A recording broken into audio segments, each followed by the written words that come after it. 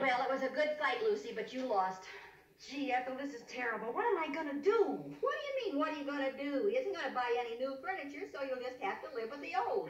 You don't understand. I went down to the furniture store this afternoon, and well, there was a big sale on, and You didn't. yes, I did. They're delivering it in the morning. Oh, Lucy. Do you suppose they accept mothers with children in the Foreign Legion? Find you all day I had some shopping to do. Oh, Lucy. Oh, it's just beautiful.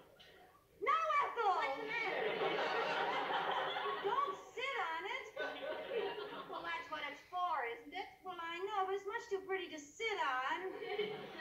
Well, all right, but gently, huh? it's comfy, too. Isn't that wonderful? You should see the close call I had this morning. Ricky no sooner closed that door than they delivered the furniture. They must have passed each other in the hall. Oh, what are you going to do when he comes home? Pray. Well, goodbye, Lucy. It's been nice knowing you. Now, the only plan I have is to hide the furniture. Hide it. Yeah, that way, if he doesn't see it the minute he walks in, I may have a chance to soften him up, you know. Where are you going to hmm. hide all this stuff? Well, the bedroom's no good. The bathroom? No. Won't fit in that closet. Let's put it in the kitchen. He doesn't go in there very often. In the kitchen? Yeah, it's the only place. Come on, help me, will you? Okay. Get a hold of the other- end.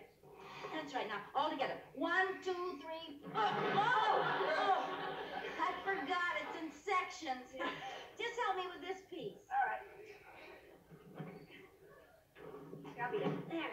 Ready? Yeah thank you